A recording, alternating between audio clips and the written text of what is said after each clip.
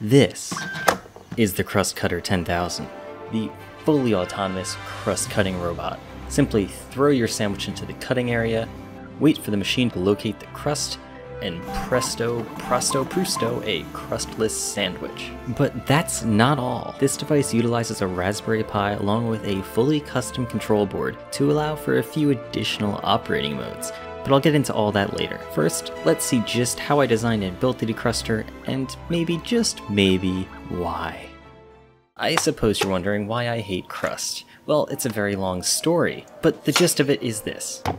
This is not crust. It's overbaked bread, borderline burnt. This is crust. This is delicious. This is not. So let's get on with designing the decruster so I never have to eat this garbage again. And after a good 30 hours in CAD, I came up with this. The concept is to basically have a mini robotic guillotine with two axes of freedom hovering over a turntable. The majority of the build will use V-slot extrusions for both linear motion and the main structure, with 3D printed parts for basically everything else. Let's get building.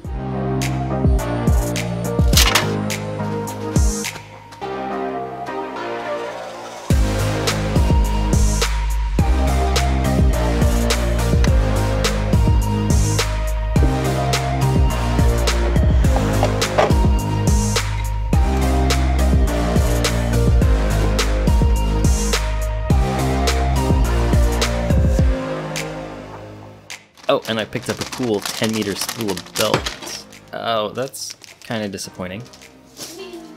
Yes, much better. For the knife, I stopped by my local boutique chef supply store to pick up this beauty. Ooh, stainless steel. And done. But oh no, it can't move on its own. Let's fix that. So you want me to scavenge the Shuffleroo board again, yeah? You know what? Enough is enough. Uh, okay, then what did you have in mind? How about this? Whoa. Cool, thanks. Yeah, you got it, buddy. I finally gotten sick of the janky old Shuffleroo and designed my own fully integrated custom robotics control board. But why? Well, a number of reasons. It can handle more steppers, with way fancier stepper drivers. It has two high-powered DC drives, way more GPIO, a few dedicated RC servo headers, can operate without USB connection, comes in a way more compact package, has a built-in SD card slot, is fully compatible with the Arduino IDE, and last but not least, this thing is cheap. How cheap? At quantity 10, the total assembled board costs less than $30 a piece. That's basically the same price as the Feather M4 alone, and this has so many more features. And yes, fine, why would I need 10 of these? And sure, I put well over 100 hours into developing the board and its base firmware, but it's the principle that matters, so shut up. And pro tip, don't drink three espresso shots right before you place components. It makes things difficult. Also, Never Google CSGO hacks for a video, because I'm literally still getting ads a month later. but, does it work? Somehow, yes, it works perfectly. First try. So long, Shuffleroo, it's been great. And now for the code. You guessed it, firmware rewrite number 4. But maybe this will be the last time. If you want to hear more about this board and or maybe you're interested in getting one for yourself, let me know in the comments below. Alright, so let's give this board a proper test. Oh no, a motor stall. Guess we should rehome it, but there's no limit switch. Okay, I'm sorry. but there's no limit switch, so how are you gonna home it? Well, remember when I mentioned the OSR doesn't just have more stepper drivers, but better ones? Well, I'm using Trinamic stepper drivers, and these are some pretty new and advanced drivers which have a feature called stall guard, which is reading the back EMF on the motors to constantly determine how much load each motor is under. So after a little calibration, I can set it to flag me just before a motor stalls when it hits a hard stop. So how does this help with homing? Well, let's watch. As the gantry slowly moves towards its hard stop, the microcontroller will constantly monitor that stall guard flag. As soon as it's raised, it knows that it hit the end of travel, it'll stop motion, and we're done. Now I never have to design limit switch mounting positions again. Oh, wait, I never did that before? Oh, oh cool, now I don't have to. So, getting back to the decruster, shall we? We now have homing. We have heckin' fast and heckin' quiet motion on all three axes. And as long as you ignore the janky custom belt loop with some paper towel stuck in the joint, I think we're ready to go. But the real question is, does it chop? Yes, it's great at cutting air. But what about, say, carrots? The perfect human finger substitute.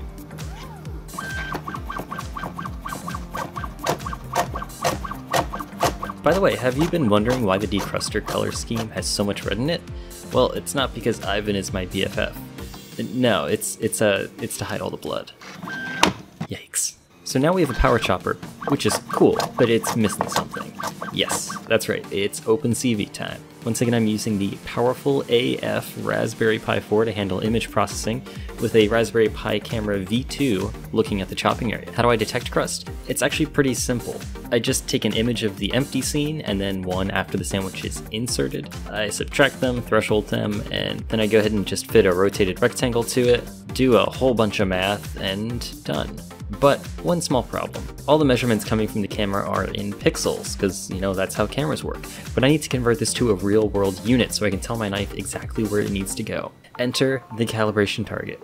It contains a few hundred dots at known positions, so I can use a script to capture an image, locate all the dots, and then after doing a bit of math, I can map each pixel on the camera to a very specific point in the machine's co coordinate coordinate frame. You may be thinking to yourself, why bother calibrating to sub-millimeter accuracy? You're cutting sandwiches? And to that I say, yeah, you're right, and then I kind of ditched this because it was way too much work. Instead, I just took a single fixed measurement and applied that scalar factor to all pixel measurements to convert to millimeters. It's good enough. So, now that I know where my sandwich is, all I have to do is send some commands over serial from the Pi to my OSR control board, and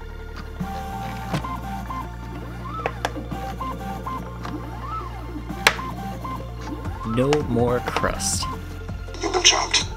Oh, oh yeah, I also had a speaker with a few phrases to accompany the chopping. Uh, don't know why. But of course, this invention can go so far beyond simply cutting the crust off of sandwiches. It actually has some more practical features, like Finger Sammy mode, which not only removes the crust, but also cuts them into bite-sized pieces.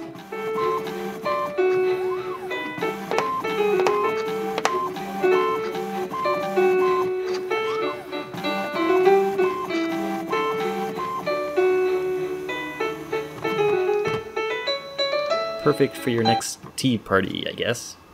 Sorry, I'm really hung up on the sandwich side of things. Let's try carrots. Still using OpenCV to locate the carrot's position and orientation, I can then run a precise chopping routine. Which, unfortunately, didn't go so great this time because, well, round things like to roll. It's a good thing somebody invented files.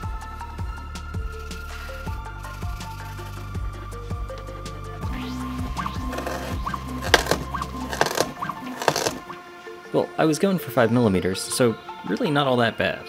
Which got me thinking, just how thin can I slice a carrot?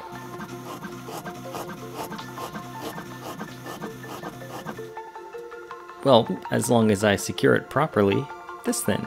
Noise. Oh, but there's more. Are you tired of tearing up whenever you cut onions? Because I sure am.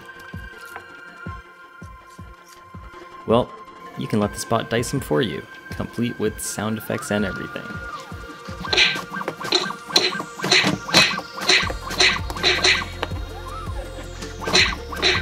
I was having a few issues with the onion sticking to the knife this time around, so next time I'll spray some WD-40 on there.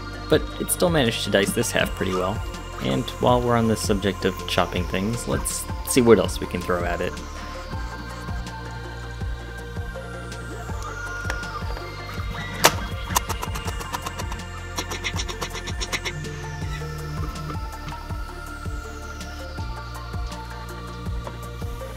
And while that diced tortilla chip went really well, this pop tart not so much.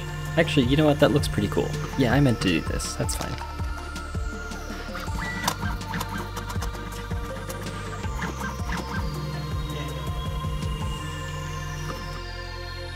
Fun stuff.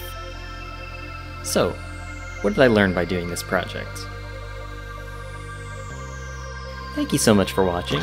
If you enjoyed, please like and subscribe. It really helps with the algorithm which translates into even more stupid projects for all to enjoy.